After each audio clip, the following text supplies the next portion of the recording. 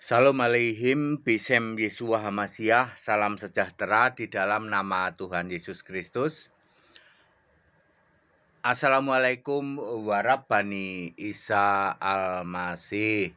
Bersama saya Pendeta Henry Tandianta MBS. Begini ya judulnya ya. Sebaiknya Nabi jangan jadi rebutan. Loh Pak, Nabi kok jadi rebutan sih? Lah faktanya memang begitu. Nabi itu jadi rebutan. Setidak-tidaknya empat agama. Yahudi, Nasrani, Kristen, dan siapa lagi. Maksudnya gimana Pak? Ya Nabi itu kan harus dari perjanjian lama dan perjanjian baru. Jadi Alkitab itu harus perjanjian lama dan perjanjian baru. Yeremia 31 ayat 31 akan tiba saatnya aku kata Yesus. Yesus itu Yahweh, Yesus itu Tuhan Guru besar semua. Kata Yesus, aku akan mengadakan perjanjian yang baru dengan umatku Israel dengan Yehuda, bukan seperti perjanjian yang lama yang telah aku lakukan dan diingkarin melulu di ayat 32.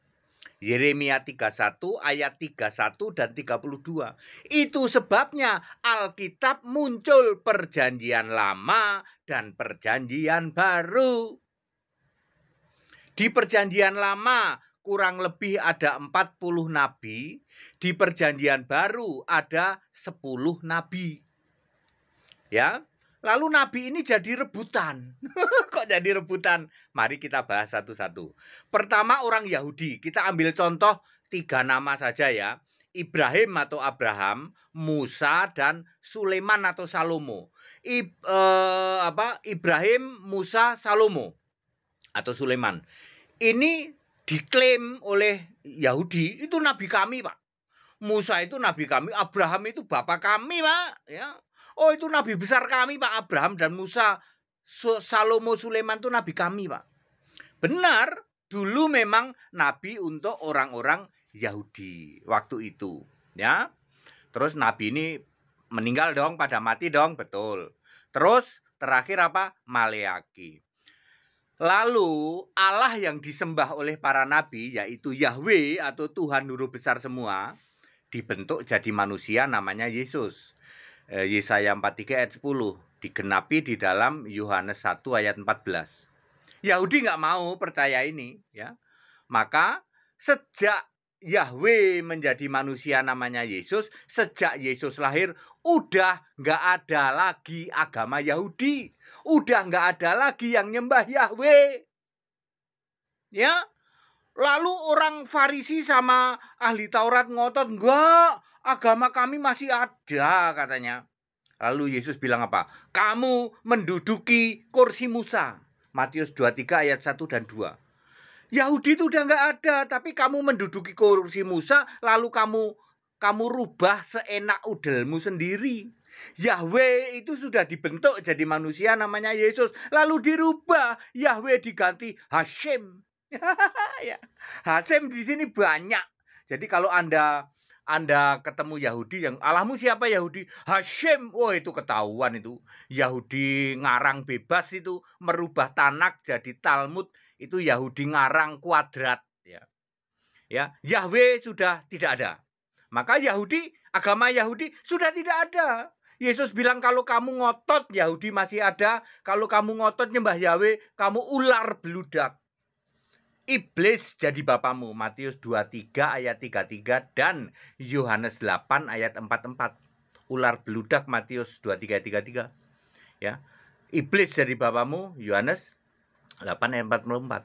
Jadi hari ini Yahudi masih boleh mengklaim punya nabi enggak? Ya enggak boleh. Wong agama Yahudi itu sudah almarhum. Allah yang disembah oleh Yahudi udah enggak ada. Maka mereka ganti. Ya, Yahweh diganti Hashim. Oh, di Jakarta banyak Hashim.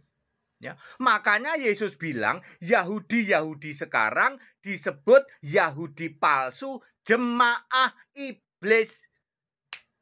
Tepuk jidat kamu yang masih Yahudi, kamu itu jemaah iblis. Ini ayat Alkitab, Wahyu 3 ayat 9. Udah nggak ada Yahudi itu. Ya, agama Yahudi udah nggak ada. nggak boleh mengklaim dong punya nabi nggak boleh. Hari ini nggak boleh Anda mengklaim punya Nabi Musa nabi itu. Yahudi udah nggak ada kok. Tepuk jidat Pak, betul. Nomor dua, Nasrani. Nasrani ini anggotanya Katrom, Ortodok, Protestan, karismatik termasuk Pentakos, termasuk Mormon dan lain sebagainya. Dia mengklaim itu nabi-nabi itu nabi kami itu, Pak. Kami kan percaya perjanjian lama. Jadi Musa, Abraham, Salomo, Sulaiman itu nabi kami, Pak. Kamu sembah siapa? Bapak, Pak. Bapak udah nggak ada hari ini udah nggak ada Bapak. Sejak Yesus naik ke surga, Bapak adalah kiasan Yesus. Yohanes 16 ayat 25 udah nggak ada. Yohanes 16 ayat 26 Bapaknya udah nggak ada. Kamu hari ini masih nyembah Bapak, betul. Bapamu itu, Allahmu itu, itu bukan Allah, udah nggak ada. Bapak yang kamu sembah itu bukan Allah, itu Allah yang bukan-bukan. Nggak boleh mengklaim punya nabi, nggak boleh. Pak, 90 90 persen gereja hari ini masih nyembah Bapak, yaitu nyembah Allah yang bukan-bukan. Sembahlah Yesus Kristus. Kan Yesusnya sudah naik ke surga. Bapak sudah nggak ada. Ya, itu sudah sudah almarhum. Ya, agama Nasrani itu udah nggak ada. Ya, kalau kalian masih nyembah Bapa, nyembah Allah yang tidak ada. Nyembah nyembah bukan Allah. Bapa itu bukan Allah. Bapa itu Allah yang bukan-bukan. gitu aja ya. Jadi udah nggak boleh mengklaim dong. Nggak boleh mengklaim punya nabi, nggak boleh. Ya. Lalu Kristen ini dia. Ini dia pemilik nabi sejati. Karena Kristen itu percaya perjanjian lama sampai perjanjian baru sampai kitab Wahyu ya percaya Yahweh itu Yesus. Ayo Nasrani percaya Yahweh Yesus nggak? Nggak percaya. Makanya kamu nggak berhak. Yang paling berhak itu Kristen, ya. Kristen itu mengimani Yesus itu Alfa Omega, Alfa Omega yang awal, yang akhir. Dari dulu Allah itu Yesus. Hanya Kristen yang mengimani seperti itu. Makanya Kristen tahu perjanjian lama nanti ada perjanjian baru. Nabi-nabi perjanjian lama itu semua menubuatkan tentang Yesus Allah. Nah, sekarang Kristen percaya Yesus Allah. Clear? Ya. Jadi hanya Kristen yang paling berhak e, mengklaim atau memiliki nabi yang yang yang sebenar-benarnya paling berhak itu Kristen. Sampai hari ini ya Yesus masih memilih banyak nabi sesuai Efesus 4 ayat 11. Ya. Ya, jadi Kristenlah yang mengimani sejak perjanjian lama kitab kejadian 1 pasal 1 sampai Wahyu. Wahyu 22 ayat 21. Nasrani nggak berani. Baca kitab Wahyu nggak berani. Gemeteran dia. Soalnya di kitab Wahyu itu Yesus Allah itu disingkapkan ternyata Yesus itu Allah. Lalu Bapak itu, oh Bapak itu nggak ada, nggak pernah ada di surga. Makanya nggak berani Nasrani yang anggotanya Katolik Roma, Ortodok, Protestan, Karismatik, Pentakos, nggak berani baca kitab Wahyu. Sebab di kitab Wahyu Yesus itu Allah. Lah Bapak ke mana? Nggak ada Bapak di surga. Nyungsep langsung.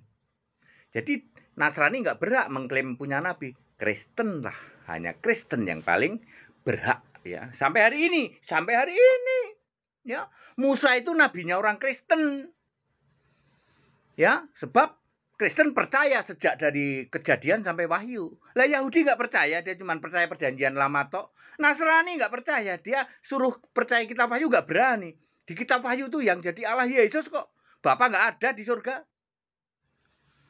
Ya lalu satu lagi Pak. Umat siapa lagi? Gimana Pak?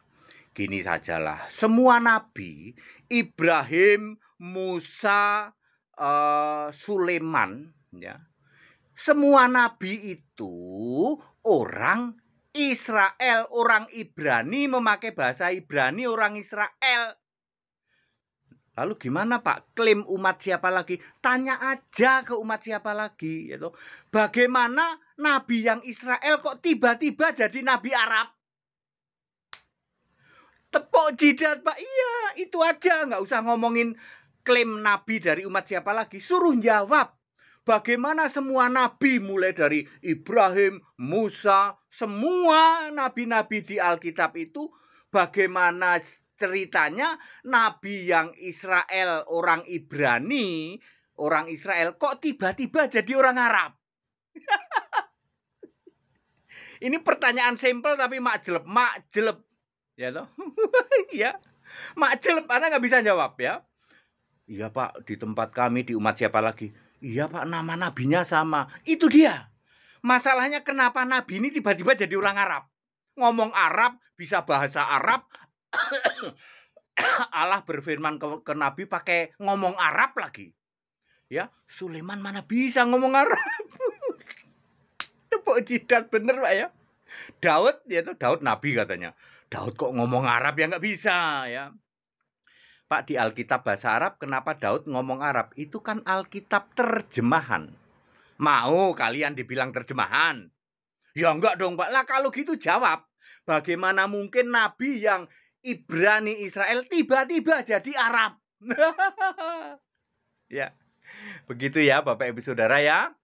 Kita Indonesia, kita Pancasila, Nabi jangan jadi rebutan dong. Yang paling berhak mengklaim atau yang paling benar memiliki Nabi adalah Kristen. Karena Kristen itu percaya dari kejadian sampai wahyu. Yahudi cuma sebagian, cuma perjanjian lama. Nasrani cuma sampai Matius, Markus, Lukas, Yohanes. Wahyu nggak berani baca dia, gemeteran kalau baca kitab wahyu. Cuman Kristen dari kejadian sampai wahyu. Di situ ada semua nabi, jumlahnya kurang lebih berapa? Setidak-tidaknya 50. 40 di perjanjian lama, 10 di perjanjian baru. Sampai hari ini Yesus masih memilih terus nabi. Bagaimana umat siapa lagi? Biar dia jawab dulu. Ibrani kok tiba-tiba jadi Arab? Udah jawab dulu itulah. Kita Indonesia, kita Pancasila, toleransi harus. Nabi jangan jadi rebutan dong. Yang paling berhak itu Kristen, ya. Serius, Pak. Ya serius, ya. Segala hormat kemuliaan untuk Yesus Kristus satu-satunya Allah yang benar. Tetap toleransi ya, jangan hujat, jangan caci maki. Silahkan uh, diteliti ya. Kami mengharap para buya para buya telitinen. Silahkan diteliti. Makin diteliti ini Henry Tandianta ini bener ini. Henry Tandianta sepertinya malah levelnya lebih tinggi dari Ustadz. Banyak banyak yang ngomong gitu ya. Saya kan mantan muslim ya. Cuman saya nggak senang nggak senang keluar-keluar berbahasa Arab itu aja. Tapi pemahaman saya oh, kayaknya sih benar ya. Orang-orang itu ngomong tuh Pak HTD itu sebenarnya lebih tinggi dari para ustadz sebenarnya bisa ngerti sampai seperti ini ya loh Pertanyaannya sederhana tapi nancep mak jelep. Jawab dulu bagaimana nabi yang berbahasa Ibrani, yang orang-orang Yahudi semua, orang Israel semua, kan namanya sama toh Pak? Namanya sama. Kok tiba-tiba jadi orang Arab? Ayo. Kalau dibilang terjemahan kan nggak mau, betul? Ya, sedangkan Alkitab bahasa Arab itu Alkitab terjemahan. Di situ Daud ngomong Arab, kan tetap terjemahan.